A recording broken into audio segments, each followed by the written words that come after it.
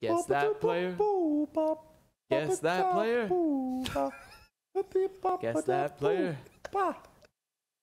It's so bad, man. it's so bad. Now, you wanna okay. hear it, though. All right. Let me explain this. So, on the left-hand side, we have the Mecha MVP. Is that an, So what is that, an NFT? I, have taken I've taken the average of TenZ at Reykjavik, oh. Yay and Nats at Berlin. So I've uh-huh. taken the the two LAN events that we've had this year. Oh, this is an interesting one. The two LAN events we've had this year, I've taken the three people that could arguably be MVPs because I mm. put Yay in there as well because I think he had an argument for it at Berlin. Yeah. And I've blended their stats together. So this on the left is a genetically engineered mega MVP player, right? It's the average of all of theirs. And then on the right hand side is who got the peak of that stat. So it's either TenZ or Yay or Nats, right? And so Yeah. you have to guess, first of all, which of them it is that got that peak. You can see for the first two, it was TenZ at Reykjavik. They got the highest first kill to first death ratio and the highest multi kills per round. And then for for some bonus points, let's say you get 10 points each for guessing correctly. And if none of you get it, I get 10, Okay. which you could gain the system, but fuck you. and if you get the Guys. actual value correct, I'll give you a bonus 10 points. Um, Wait, so we got to guess the Okay. number. No, you've got to guess the person. Yeah. And, And if the you and the value for a bonus 10. Oh, okay. You see what I mean? yeah. Oh yeah, and the, Kurt's put the Mecha MVP with a Vision Strikers logo as well. all right, so yeah, TenZ at Reykjavik was insane with first kills and first deaths. I think you guys would all remember that because he had Yep. like insane stats. 2.28 is just ridiculous. It's nearly Yeah, it is. nearly fucking Yep. double the average of the actual best MVPs. Um, Yep. Multi kills per round again, TenZ is so much higher. ADR, average damage per round. Who do you reckon got the peak for this? I think I know. Well, then please say. Um, I think it's Nats because this is the peak, right? Who got the highest? So yeah, it's there was there was game there TenZ was a game where Nats or was Yay just getting Nats unbelievable value farming, and I I actually don't know how it gets calculated with Viper Util as well, but yeah, I think um, I think it's Nats. I think it's Yay. Because that like his run in Berlin was incredible. Mm. And this is this is only is this only from the VCT slash Masters events, right? This is only from LANs. From LANs, yeah. Yeah. So I think Berlin, he was incredible. He had just like some maps like where he was s- super on fire, was like getting like four or five kills, like oh not Mm-hmm. aces, but like three four kills like every single round. I, I I'm gonna make a punt on Yay. I'm not even gonna put like a 185 damage ADR. Okay. What are you thinking?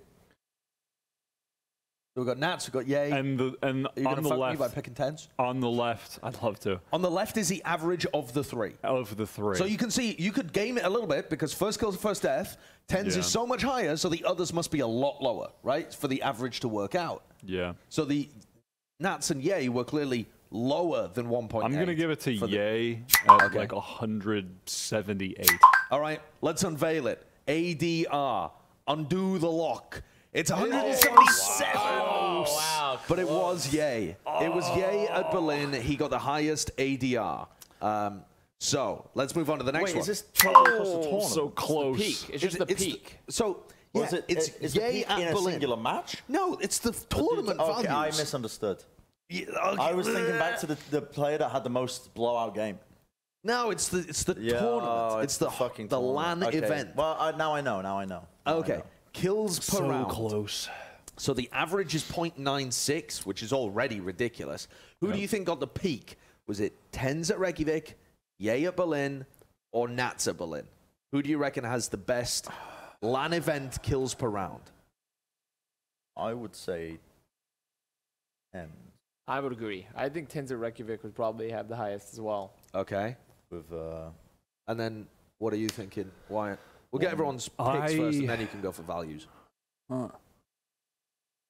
For kills per round. Kills per round. So it's I not mean, I first kills, know, it's just I know TenZ at Reykjavik was insane, but I think here's the problem. I think Yay- I know actually for a fact that Yay was better at some point in Berlin, but did he finish better after the Mm. finals? I good know question. 100% before the finals it was better than TenZ. Yep. I'm It, it might the finals might have changed that, but I'm gonna I'm gonna stick with Yay. Okay, what's the value? Give me spit out some values for me for the bonus points. 1.04.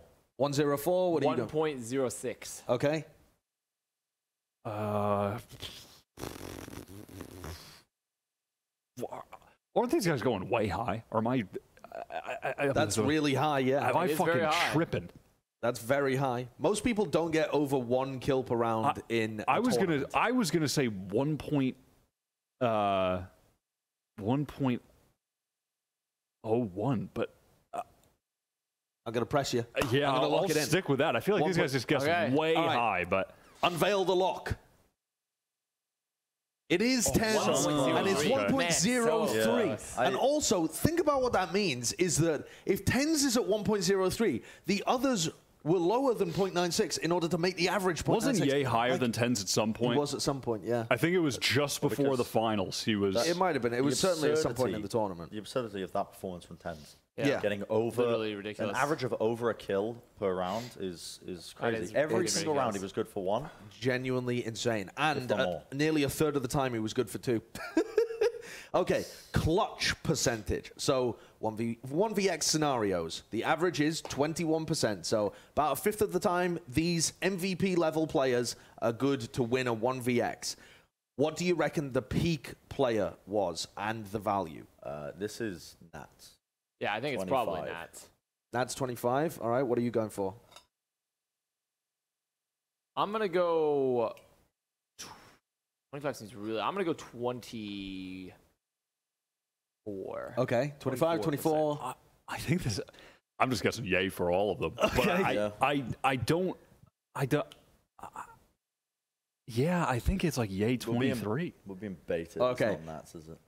I think it's. Yay- I don't Yay know. does have a pretty high clutch percentage, Nats. but yeah, Nats beats him out. Oh, yeah, yeah. it's Okay. twenty six percent. If we Twenty-six. yep, unveil the lock. That's crazy. I It's thought 26% I thought Yay had a pretty high one as well. Yeah, Yay's was high. I think Yay's is something like uh, like twenty three, something like that. Yeah. Um, but honestly, I think part of the reason why TenZ wasn't that high didn't really find himself in many one vx's. Yeah, they're kind Yeah. of just winning. Guy was just winning, winning to begin with. So yeah, there's there's your your peak. So I, I pulled these up because I like to think of like the gold standard because it's really cool for an event like this. If you see somebody getting over point one point zero three kill per round as the tournament gets deeper and deeper, it's like holy fuck, are they about to beat this record?